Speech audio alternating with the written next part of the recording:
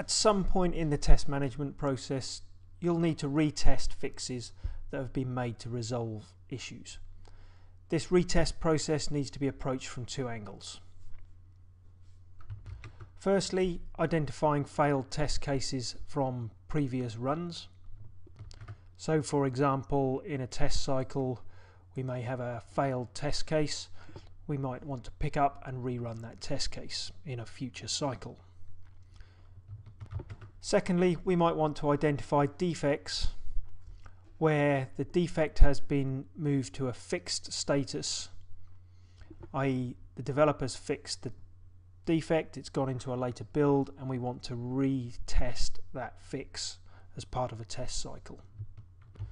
So in this video we're going to look at how to pull together different types of test sets to cover these retesting areas that we need to cover as part of a test cycle. So firstly then let's take a look at pulling together test sets which include test cases that have failed in the past. So we can create a new test set and we'll call this test set simply retests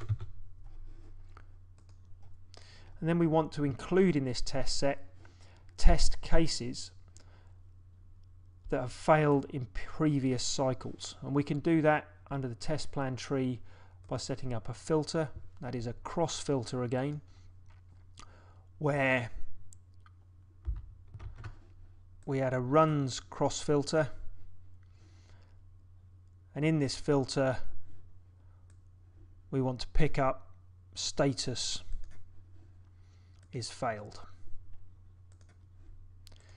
Now in this particular setup we're going to pick up all past failed test cases which could be substantial number of test cases or we could filter by additional criteria which might be previous cycles so maybe we want to pick up all failed test cases as part of a number of previous test cycles. So under here in the cross filter we define target cycles and we may in this instance just pick up release 10.8 runs and test cycles or test cycle 1, test cycle 2 or test cycle 3. So these are all failed test cases from the last three test cycles and we can now pull those across into our test set and rerun that test set as part of a different cycle.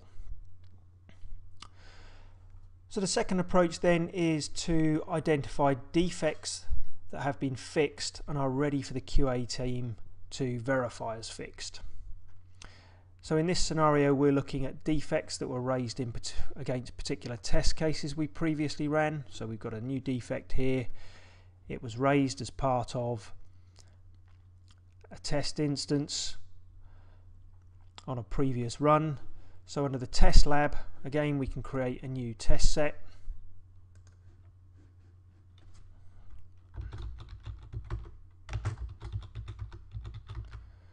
Call that defect retests and we want to identify those test cases that resulted in defects that are in a fixed status from previous runs. So we'll set up another cross filter, clear the original one, set up a new filter, and this time we're going to go for a defect cross filter. So cross filter for defects, and then we want status of the defects where they're fixed. i.e. the developers fix the defect, added the fix into the next build and wants the QA team to check that fix in a subsequent test cycle.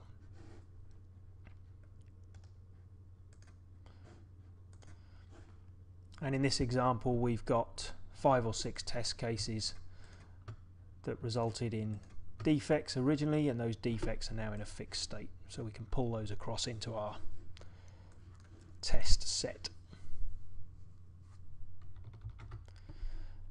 And of course those test sets are now ready to be run as part of subsequent test cycles we execute So the key point to take away from this is that retesting as an essential part of our test management process can be implemented in two ways.